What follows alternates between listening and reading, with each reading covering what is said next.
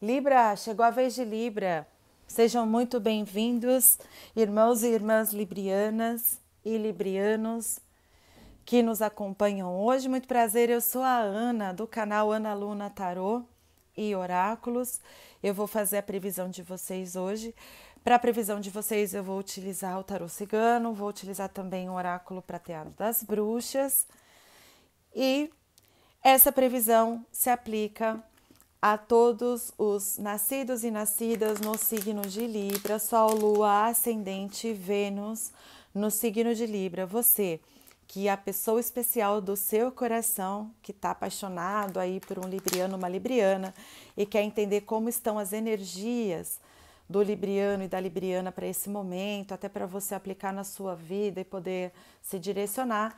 Essa leitura serve para você e serve em formato espelho também. Você precisa ver como vai é, se aplicar melhor para a sua realidade. Vamos lá, vamos começar?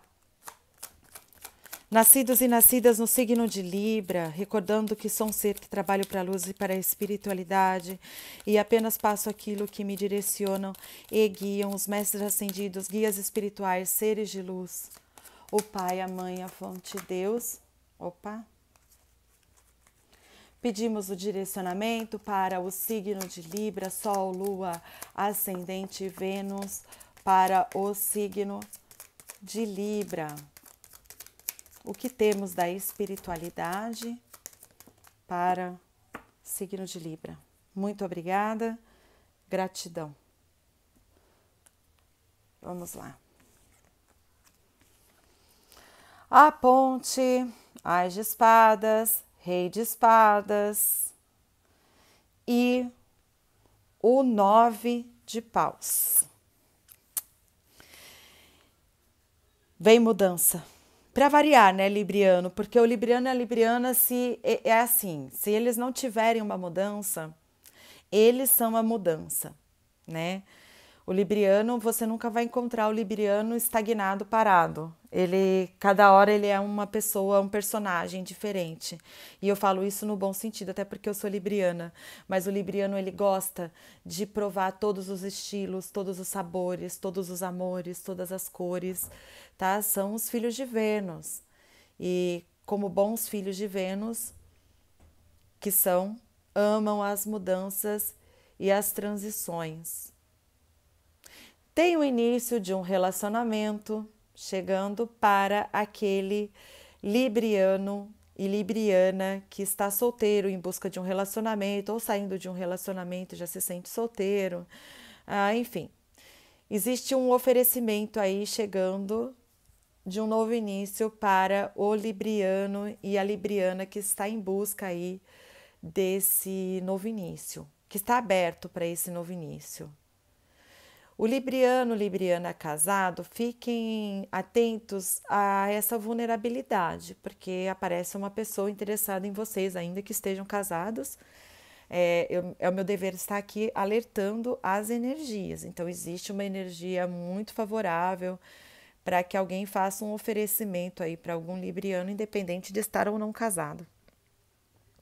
O que é muito natural, porque uh, o libriano, o, a Libra é um signo realmente muito atraente, né? Já, já, já se espera do libriano essa, esse poder de atração. Temos uma pessoa do passado que quer voltar para Libra um rei ou rainha de espadas, tá? Porque aqui o, entra como rei de espadas, mas também pode ser rainha. Uma pessoa do passado que causou um grande transtorno na vida de Libra, tá? Causou um incêndio na vida de Libra. Ela pensa em voltar para Libra, tá? Essa pessoa tá pensando em Libra e é uma energia muito forte. Então, existe aí uma grande possibilidade dessa pessoa tentar até um contato com o Libra. Pode ser até esse Libriano aí que é casado ou casada que vai ter o contato de alguém, pode ser até essa pessoa do passado. Mostra muito forte um, um arquétipo, alguém que fez parte realmente da sua vida afetiva, da sua vida amorosa vindo te fazer um oferecimento, ok? Aí vocês apliquem da melhor maneira aí dentro da vida de vocês. Essa pessoa do passado vem aí te fazendo um. causou um incêndio na vida de Libra. É bem essa pessoa que causou um incêndio na vida de Libra, me mostrou ali. Uma pessoa que causou um incêndio na vida de Libra. Então, quando eu falei assim, uma pessoa que causou incêndio na vida de Libra, essa pessoa que veio na sua mente é ela, tá? A leitura intuitiva, ela tem isso. Ela traz para vocês na mente de vocês enquanto vocês estão aqui assistindo essa previsão. É só vocês se concentrarem, tá? A energia, ela é um fluxo. Então, a mesma energia que está aqui agora, ela vai transitar por você no momento que você assistir esse vídeo. Vamos lá. Librianos e librianas, vamos ver o que dizem as nossas mães do fogo, as irmãs da fogueira, as mestras que transcenderam a matéria através do fogo, foram purificadas e hoje espiritualmente estão aqui para nos orientar e nos ajudar. Obrigada, obrigada, queridas. Um salve para as rainhas. O carro, um nove de pentáculos. Ai, ela me dá frio na barriga essa carta. Três de bastos. Gente, eu sinto frio na barriga com essa carta, sério. Quando quando eu jogo as minhas previsões e ela aparece, ai, me dá um frio na barriga. Sabe, aquele friozinho, porque ela também, como todas as outras cartas, ela tem um ponto muito positivo e um ponto negativo, tá? Vou te mostrar. Olha que carta que eu tô falando. Essa aqui. Olha que pessoa misteriosa. Essa carta ela pode indicar em algumas vezes um segredo que vem à luz, uma revelação, né? Mas ela pode indicar também um segredo que você deva guardar. Ou algo que você precisa esconder por um determinado tempo. Então já vai pegando essa mensagem, está ressoando com você, tá? Vamos começar. Olha, gente, essa mesa tá linda. Vamos começar pela carta do carro. Olha que lindo, gente. Esse arquétipo do carro, ele é um indicativo de mudança, de transição. Pode ser material ou pode ser espiritual, tá? Pode ser que você vá fazer uma mudança de casa, cidade, estado, país, residência. Pode ser que você vá fazer uma mudança de relacionamento, esteja deixando o relacionamento para trás. Sim, existe essa, esse ponto muito favorável. Mas principalmente essa carta do carro, ela me fala de fertilidade para aquelas mulheres que estão aqui é, buscando uma resposta positiva. Sim, fala um sentido muito positivo de fertilidade mas fala principalmente de evolução espiritual. Tá? Evolução espiritual é o ponto X chave desse arquétipo. Ele entra como você estar fazendo uma transição espiritual na sua vida.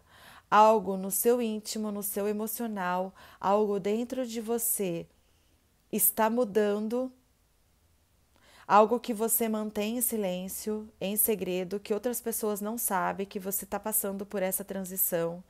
Você tem se mantido, abre aspas, normal para as pessoas, porém você sabe que no seu íntimo, algo dentro da sua concepção de fé, algo dentro do seu sistema de crenças, algo dentro dos seus parâmetros de crenças está mudando muito e positivamente, tá? É algo que você mantém em segredo.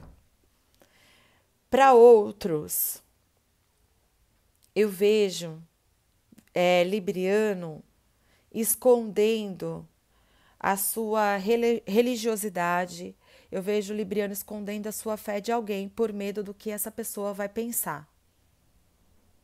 Tá? Então, a espiritualidade te traz um ponto de reflexão para esse momento. aonde você deve reflexionar, ou perdão, é, refletir se isso realmente é legal para você, está fazendo bem para você ou não. Se você esconder a sua essência daquela pessoa que você considera especial para você, está fazendo bem para você ou não, tá? Aqui eu vejo uma pessoa que está em uma energia de contemplação, de cocriação e que está no aguardo de uma justiça divina, de uma resposta é, da espiritualidade. E aqui eu vejo uma, um indicativo da espiritualidade com esse pajem de bastos, que é para o Libriano entrar, é, entender que ele já passou por esse despertar espiritual, que é a hora de materializar. Tá? Esse despertar espiritual, esse tempo de estagnação, de parálise, de ficar tranquilo, equilibrando, passou. Agora é a hora de usar essa energia de equilíbrio para materializar aquilo que está criado na sua mente para você ter a partir daí o regozijo, a sua vitória, a sua bênção. É isso que me mostra para o signo de Libra. Então, librianos e librianas, sejam muito bem-vindos mais uma vez no canal. Não se esqueçam de dar o seu like se vocês se identificaram com essa leitura, deixar os seus comentários para eu saber como vocês estão. Eu sempre vou lá curtir os comentários e comentar. E se inscreverem também no canal, acompanharem as previsões. Nós temos aqui previsões semanais para o seu signo. Assim que muito obrigada pela audiência de vocês, librianos e librianas. Parabéns!